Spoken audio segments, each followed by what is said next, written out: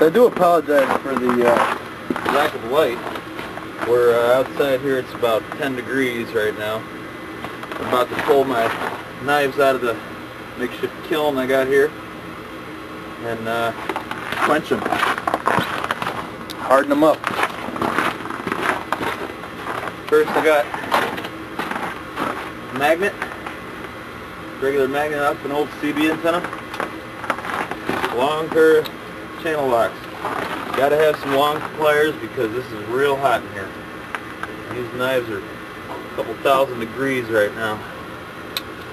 Okay, see that's still sticking to my magnet, so it still needs some time to cook. Probably another 20 minutes or so. Check back with you then. Okay, here we go. I'm going to give this another try and see if these knives are ready. Got my magnet. Start with the big boy here. Okay, it's not sticking a little bit. Back in there. Tight. Let's try. Let's try this guy. Okay, not sticking, not sticking.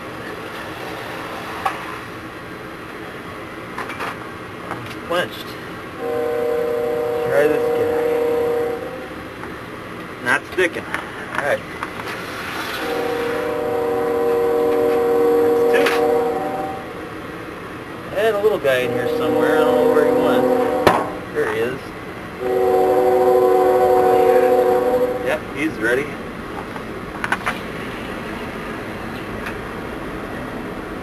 This big one here is gonna, be the exception, I think. He's gonna have to cook a little bit longer.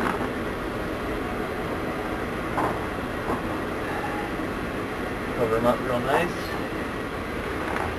Hot spot.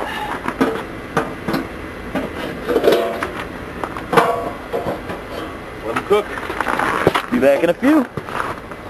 Alright, let's go ahead and give this another try here. Let this big boy cook for another five minutes and hopefully it'll be ready to quench. Oh yeah, it's not sticking. We're good.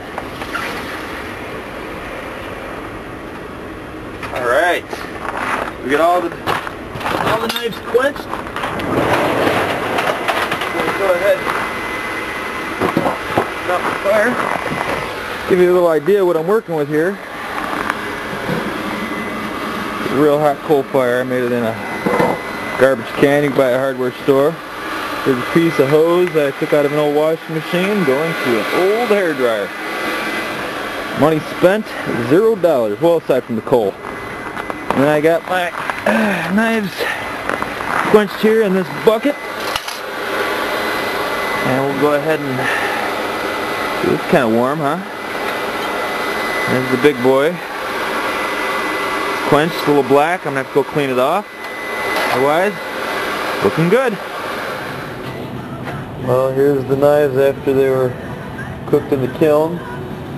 Uh, you can see that they're very, very tarnished uh, from the coals and from the heat. And uh, I know for sure all the blades were heated to the right temperature. I'm not too worried about the, the actual handles because they they're going to need a little bit of flexibility in them. You don't, you don't need them to be as hard as the actual blade. Most of your leverage is going to be put against the blade. That's all I'm really worried about. Okay, I'm going to go ahead and clean these guys up on the sander here and uh, get back to you when I'm done. I'm about ready to show you how I'm going to take the tarnish off of these blades so that they can end up looking like that. Yeah, see? Okay, this is from the kiln, I'm cooking it. Got a little makeshift uh, angle sander here, basically just a belt sander, that's my place.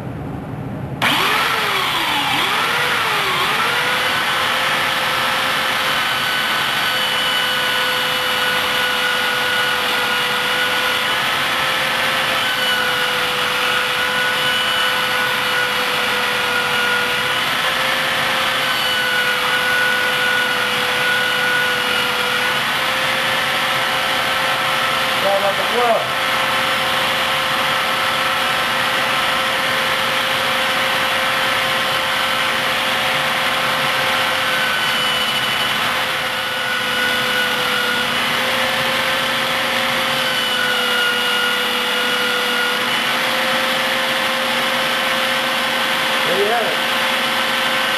That's pretty good, huh?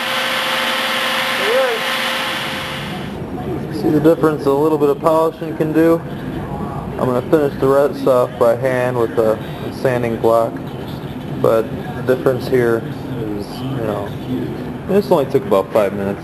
What you want to do is you want to make sure that you run your blade, you know, vertically like this across the across the knife on both sides because you want to get that a nice, you know, uniform, uniform shine, which is going to look, you know, with the lines coming down, which you're also going to sand out later, but, you know. And then I usually do the rest, you know, just just hold the hold the handle against it, get it nice and cleaned off, so that when we put the the wooden handle on, no burrs or anything else that's going to hold it from sealing itself tight. Okay, we'll be back in a few. Well, here we go now. I got my handle put together. And what I made my handle out of is basically just a couple pieces of hardwood flooring here. Um, you can get it in any hardware store. Uh, it's a couple, you can get them a couple feet long, but these are quarter inch pieces. Same thing I used on this knife here. I'm going to go ahead and try to open this vise with one hand. Show you what I did. You can see I went ahead and put my brass pins in. And I glued it and sanded it flat on both sides just so that once it glues into place everything's going to be in one spot. But uh, when I get done letting this dry and pull itself together, I will go ahead and start polishing up the handle with the with the sander. Basically removing all the edges, all the sharp edges, rounding everything off. I'll see you then.